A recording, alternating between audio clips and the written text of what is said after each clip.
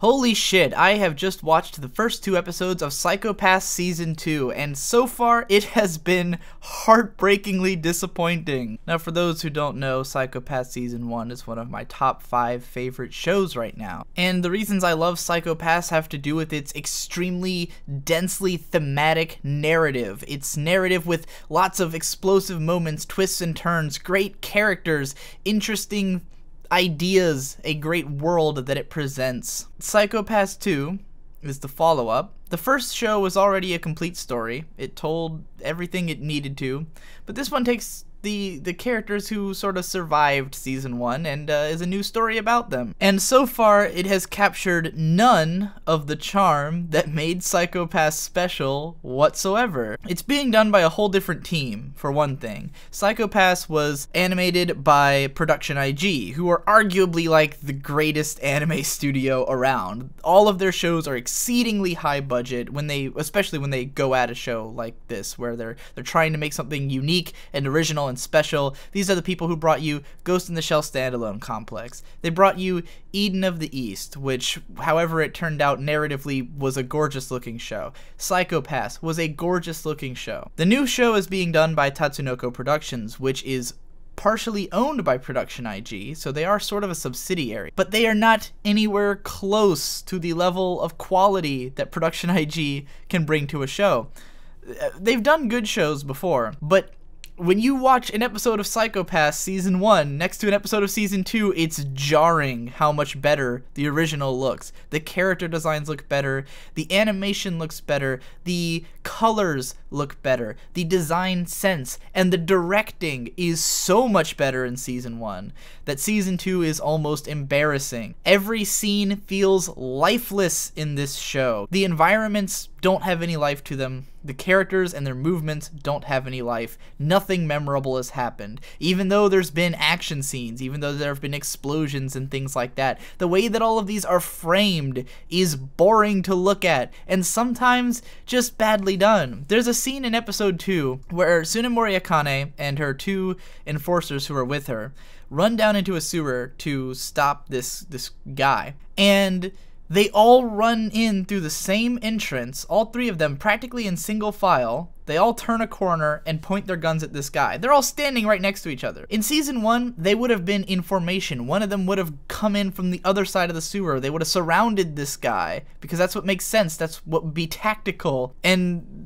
characters always moved tactically in the first season. You don't get that same sense in this one. Characters just seem to arrive on the scene. Afterwards, uh, the leader of Section 2, with her two enforcers right behind her, come in through another part of the sewer behind Akane's team, and the girl fires at the bad guy and blows him up. She fires right past Akane's enforcers.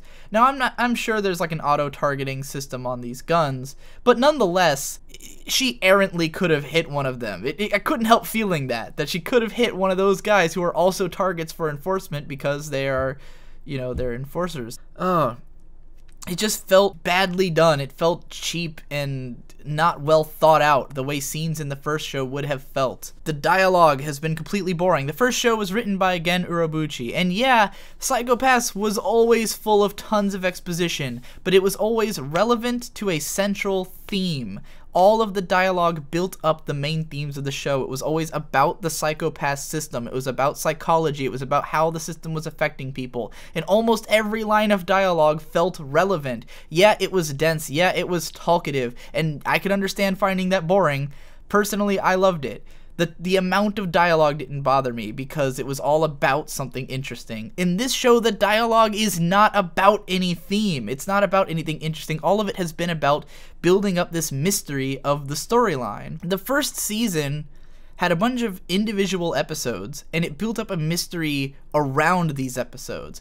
Each one had its own little narrative that was involving and interesting by itself and usually had tons of world building tidbits thrown in and then you would get little hints that these were contributing to a bigger mystery. And then once that mystery finally opened up, it stopped having the episodic episodes, and we were able to follow along with what was happening. There was never a period in Psycho-Pass where you're just sitting there going, all right, well, where's this going? And that's all that's happened in the first two episodes of season two. All right, where's this going? Uh, the WC, stands for what color? Learned that in episode 2. What's the thematic relevance of it? I have no idea yet. Mm, I'm sure it'll come to light later. But right now, it's just a generic mystery show. There's like one clever concept used in episode two about like they there's like a hologram hostage. That was an interesting idea, but it just doesn't come off as cool. It's not presented well. They don't they don't play it up to look interesting. The locations are so boring. Episode 1 of season 1 took place in like this cool futuristic downtown area where there was all these bright neon lights and had this grungy atmosphere that really got you into the mood of like, yeah, it's a cyberpunk show. You know, episode two mostly took place inside of like offices and stuff, but they also had like the, the mall and they had the the hollow suits that they walked around in the mall and it introduces all these little world fleshing out ideas. And this show doesn't do that. It just has characters sitting around dispensing exposition at one another. There's a part where a character starts a sentence with, Well, as you probably know, blah blah blah things about myself. Yeah, if she already knows that, then why are you telling her, oh, is it for the audience by chance? It feels hokey to do exposition that way. And I'm not saying Psycho-Pass 1 never did it, but Psycho-Pass 1 always was interesting. Everything they talked about was immediately interesting. This show is trying to turn Tsunemori Akane into the Major from Ghost in the Shell.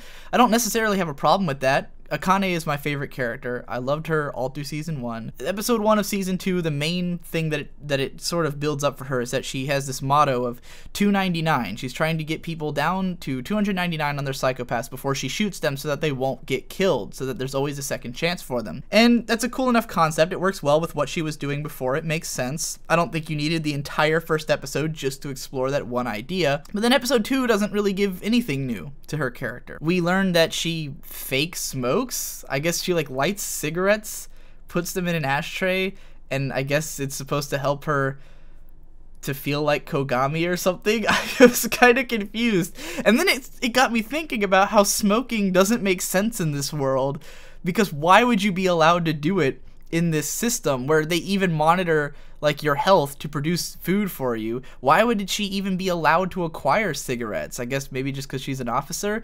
With kogami you know he was doing it but he was an enforcer. He was against the law. So it kind of makes sense that he was able to smoke you know that he was like basically fucked by society how can akane do it i mean she does get criticized for doing it but the fact that she even is capable is kind of weird. And she's not even smoking, she's just burning cigarettes.